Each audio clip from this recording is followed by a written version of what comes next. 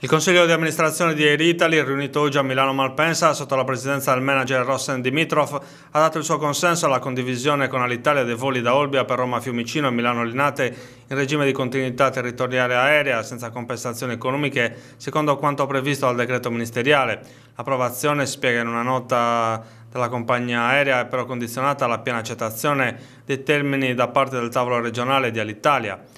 Ieri infatti Air Italy aveva fatto una controproposta al piano elaborato dal Presidente della Regione Cristian Solinas. Infatti Air Italy chiede che l'offerta fatta all'Italia preveda non una ma due tratte giornaliere nel periodo che va dal 1 giugno al 31 agosto. Una richiesta molto probabilmente legata alla ridotta disponibilità di aerei di cui soffre al momento la compagnia aerea gallurese.